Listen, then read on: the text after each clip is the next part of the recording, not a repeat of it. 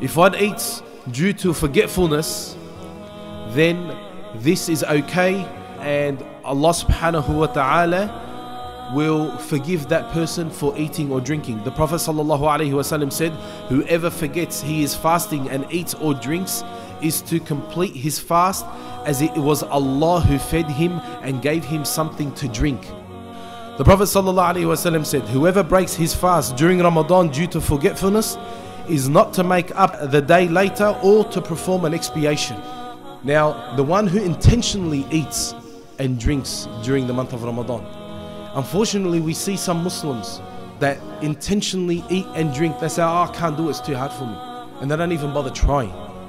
Imam al Dhahabi said, The early righteous people used to consider the one who used to break his fast intentionally worse than a fornicator and an alcoholic.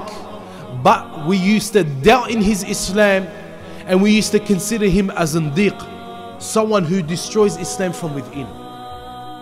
This is how they looked at the people who would intentionally break their fast.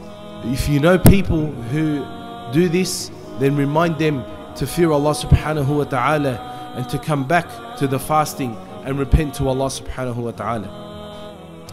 Intentionally vomiting Abu Hurairah reported that the Prophet said, Whoever is overcome and vomits is not to make up the day. But if you vomit intentionally, you put your finger down your throat and you intentionally throw up, then you are to repeat your fast.